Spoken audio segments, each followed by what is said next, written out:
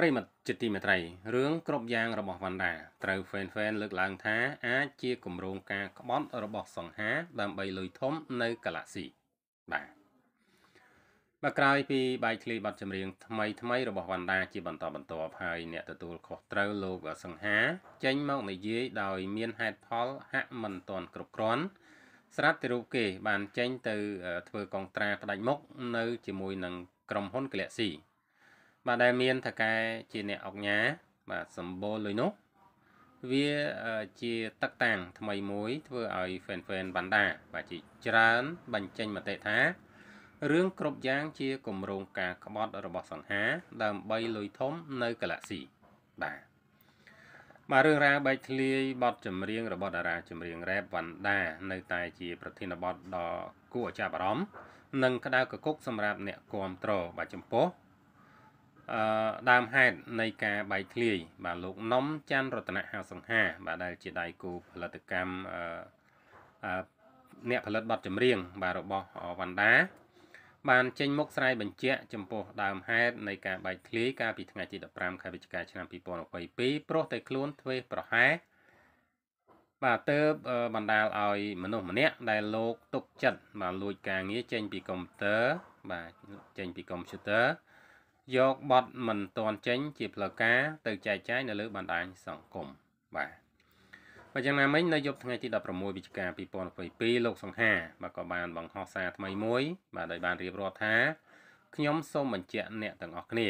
និងបងប្អូនសិល្បករទាំងអស់គ្នាផងខ្ញុំបាទនំច័ន្ទរតនៈហៅសង្ហា បានសម្រេចចិត្តរួមដំណើរជាមួយនឹងក្រុមហ៊ុន Galaxy Navatra តែ មួយគត់បាទចាប់ពីពេលនេះតទៅ បាទដោយសម្រេចលាឈប់ពីផលិតកម្មបារមី និងសម្លាញ់វណ្ដាមកបំពេញតួនាទីជាអ្នកនិពន្ធបទភ្លេង បាទរបស់ផលិតកម្មកលស៊ីនវត្រាផ្ដាច់មុខបាទហើយកងត្រាជាអ្នកចម្រៀងរបស់ខ្ញុំនៅផលិតកម្មបារមី បាទនឹងត្រូវបានចប់នៅក្នុងឆ្នាំនេះហើយភាសាដែលខ្ញុំបានសរសេរម្សិលមិញគោលបំណងតែមួយគត់គឺខ្ញុំចង់បង្ហាញនៅទំនួលខុសត្រូវរបស់ខ្ញុំ រវាងក្រុមហ៊ុនចាស់ដែលខ្ញុំបានបង្កឲ្យមានកំហុសដោយអចេតនាហើយខ្ញុំពេញចិត្តចូលរួមសហការតាមវិធានការរបស់ក្រុមហ៊ុន បារមីចាត់ចែងបាទបាទអ្នកប្រើប្រាស់បណ្ដាញសង្គមបានលើកឡើងថាកំហុសអចេតនាបាទបោកឆ្នាំងបាយហើយចង់រួចខ្លួនដោយសារសារភាពថាទំនួលខុសត្រូវបាទ បាទបែកធ្លាយបត់មិនទាន់បានប្រមាណផង បាទបងទៅចោលបងវណ្ដាដោយអាសាតែបង ទទួលខុសត្រូវ បាទលើបត់បែកធ្លាយមិនគួរណាបងធ្វើអញ្ចឹងសោះខ្ញុំពិតជាអាណិតបងវណ្ដាណាស់បាទបានថ្មីចោលចាស់បាទសង្ហាមិនគួរធ្វើអញ្ចឹងទេបើយ៉ាងហោចណាស់នៅ ក្បែរវណ្ដាឲ្យ បាទឲ្យផ្លូវចិត្តគាត់បានរឹងមាំជាងនេះបន្តិចបាទបែបនេះដូចជាសង្ស័យហើយថាការបែកធ្លាយបទចម្រៀងរហូតមានន័យថាម៉េចបាទវាយទៅចោលគាត់ពេលនេះ ធ្វើឲ្យបទគាត់មានអ្នកលួចបាទហើយក៏ទៅផលិតផលិតកម្មថ្មីបាទសបញ្ជាក់ថាសង្ហាជាមនុស្សទុនជ្រាយមិនសមជាមនុស្សដែល មានទំនួលខុសត្រូវទេ បាទមួយចំណែក ទៀតគឺជាគម្រោងការរបស់សង្ហាផងដែរក៏មិនដឹង បាទព្រោះវាជាកំហុសរបស់គាត់ដែល បាទធ្វើឲ្យបែកធ្លាយបទចម្រៀងរបស់បណ្ដាអឺបើគាត់ជាមនុស្សស្មោះមែនបាទគឺមិនសមដើរចេញបាទនៅក្នុងពេលដែលកំពុងតែវឹកវរអញ្ចឹងនោះទេ បាទគួរតែ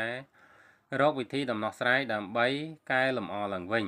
បាទហើយរូបដែលសង្ហាបានផុសពី ប្រហែលថ្ងៃមុនគឺខ្ញុំបានគិតដឹងហើយថាសង្ហា បាទគាត់នឹងទៅកលស៊ីបាទជន់ក្បត់ក្បែរឃ្លាបាទបាទរឿងកើតឡើងមិនទាន់បានស្ងប់ស្ងាត់ផងរោគត្រនំថ្មី បានលឿនណាស់បាទបានលឿនណាស់ប្រូបែកធ្លាយបត់ចម្រៀងទាំងទាំងដែលគាត់ជាអ្នកទុកដាក់តិន្នន័យនឹងទាំងអស់បាទតិន្នន័យនឹងទាំងអស់បន្ទាប់ពីសុំទោសហើយ គាត់ក៏ចូលផលិតកម្មធំមួយភ្លាម បាទទឹកលុយដល់បាទខ្ញុំគិតថារឿងបែកធ្លាយនេះមិនមែនអអចេតនាទេ បាទតែជាចេតនាបុគ្គលដែលអឺប្រុងនឹងក្បត់ហើយបែកធ្លាយបត់មិនទាន់បានប្រមាណផងបងទៅចោលបងវណ្ដាបាទបាទដោយសារតែបងទទួលខុសត្រូវលើបត់បែកធ្លាយបាទមិនគួរណាបងធ្វើអញ្ចឹងសោះខ្ញុំពិតជាអាណិតបងវណ្ដាណាស់ បានថ្មីចោលចាស់បាទបាទនេះគឺជាមតិបាទរបស់ fan fan របស់វណ្ដាបាទអ្នកគ្រប់គ្រងរបស់វណ្ដាដែលបានចោទប្រកាន់ទៅលើអឺសង្ហាថាអឺជាអ្នកក្បត់បាទជាអ្នករួមដៃក្បត់បាទអញ្ចឹងការពិតមិនដឹងថាយ៉ាងម៉េចទេបាទនេះជាការប៉ាន់ស្មានរបស់គាត់បាទគាត់ថាអញ្ចឹងបាទ